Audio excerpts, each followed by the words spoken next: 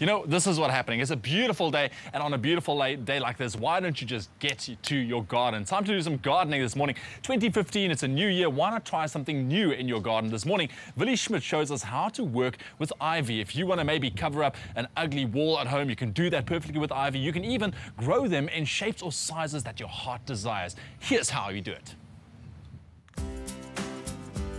As jy tuin maak, moet jy vrye teels gee aan jou emosies, jou fantasieë, dinge wat jy graag wil doen in die tuin en daar is niks wat jou behoort te kortwiek nie.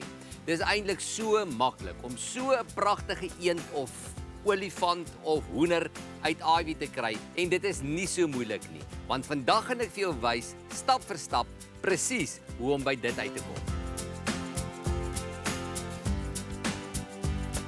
Wat jy dan nodig het is 'n mooi pot want dit gaan mos nou 'n besonderse skepping wees.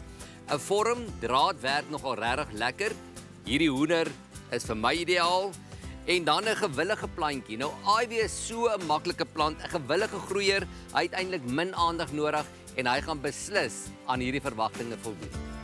Hierdie stokke gaan ek uithaal want hulle het ons nou nie eintlik nodig nie.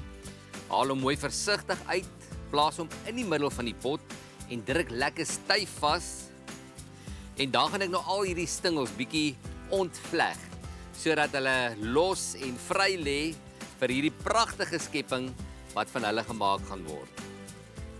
Asai, dan kan ons nou ons vorm vat en plaas hom dan baie mooi versigtig tussen hierdie takke deur. Kyk dat hy mooi in die middel staan. Want as hierdie plante eers begin groei het, is hy daar vir altyd. En dan is hy gereed om gevleg te word.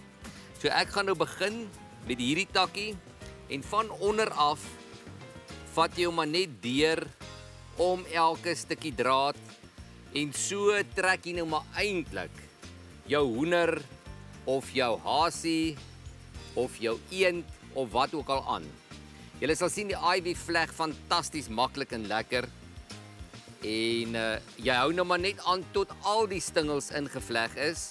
Hierdie is regtig 'n vreeslike lekker ontspannende manier van tuin maak en wonderlik om te sien hoe daar aan jou kreatiewe gedagtes en fantasieë uiting gegee word en hoe dit regtig 'n werklikheid word.